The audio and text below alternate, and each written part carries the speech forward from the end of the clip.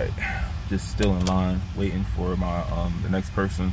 I turned my car on and off three times, so it's gonna be worth it when I um get this oil change. Cause I don't. The thing is, it's things on this channel I don't really want to talk about because it's. I believe in bad luck. Yes, I'm very superstitious. Having OCD, it makes you very superstitious. But um, there's a reason why um this car. I'm just gonna say it's a reason why this car is still good. I don't even want to talk about that. That's how bad it is. That's how bad my superstition is. But um, I guess you could you can go back a little bit into um, like 2006, 2007, 8, and how it began to cultivate like all the OCD, the um, the bad thoughts in my head, because people think that um, one of my subscribers was watching this video of me um, playing a mystical song and I was saying this is how people OCD listen to music. Now you won't understand it if you don't have it yourself.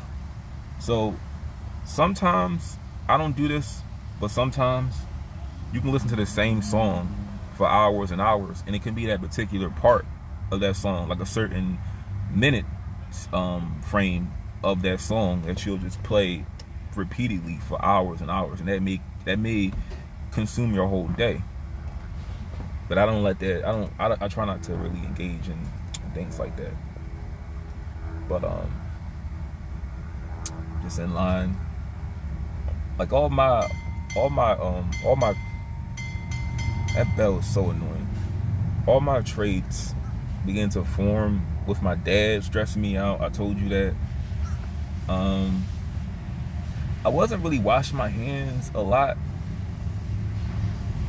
That comes a lot later it was really just making sure my room was clean. It was no trash on the floor. All my like stuff in my dresser had to be straight. Anything on top of the dresser had to be straight, and all dust had to be had to be cleaned off. But I, I did eat with my hands, and I used to eat meat back then, so that's probably why I, I used to get sick sometimes. Um, in 2008, the ending of that year was, pretty crazy. So we had a black president our city won the first, well, won the won a, a World Series in a long time, 28 years. Um, what else? We were, oh yeah, the big thing of that year was TVs were transitioning to HD.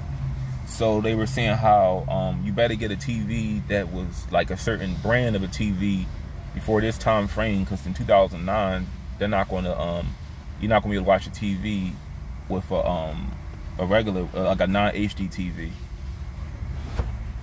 because our our big like widescreen box television it wasn't like a box TV like a Zenith or a Sanyo but it was a box TV where um there was no USB cord you could you can plug up to it so that one from our usage of our video games, they said that that's what wore down our, our TV.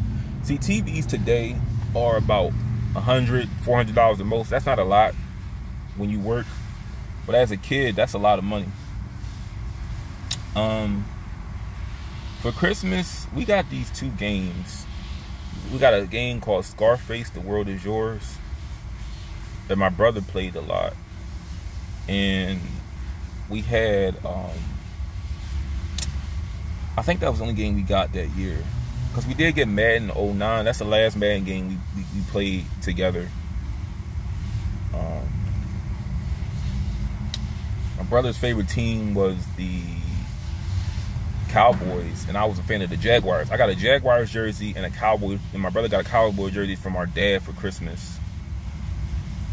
We didn't get, we didn't bother getting the new um, WWE game, WWE um, SmackDown vs. Raw 09 because we weren't really watching wrestling a lot at all, if any. Because around this time, TV shows that I liked were like, um, trying to think of a few.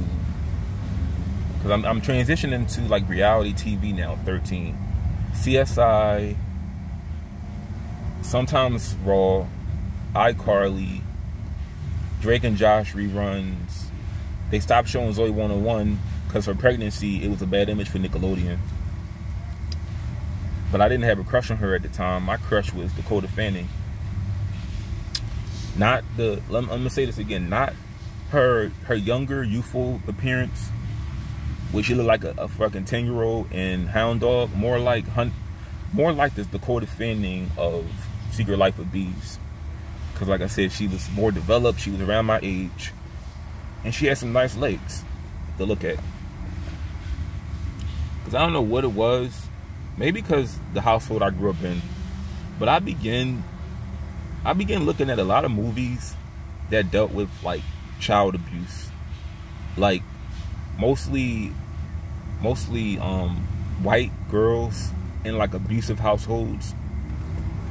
So I watched this movie called um because I was watching a lot of movies where the theme was a single parent in a home where they would like leave the child. Like this movie, um so it was a movie. I, I I speak a little French. With my injury, I don't I don't really um I remember some things, but if I hear it, I can understand it to some extent. From um listening to this movie I saw at this at around 08 called Aurore.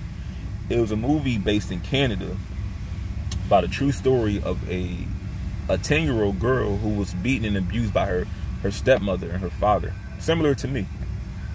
They they they beat her so badly they killed her. She died of her injuries. And there was certain scenes in there that I, I just watched for some reason. Because also around this time, um, I think I like one of the actors from there. It was a girl, um, Sarah Joan Labrosse. She was a um, she was an actor who played the um, one of the sisters. Cause um, the two actors in that movie, it was Marianne Fortier, Sarah Sarah Joan Labrosse, and that's only two actors that I knew because they were around my age. I did like um I did like Marianne Fortier a little bit. That's a I don't I don't know what she's doing today, but I had a little crush on her, and I had a little small crush on um on Sarah Joan La, uh. I liked her a little bit. Anyway, um like I said, I'm. You hear that song? That's Long Jock.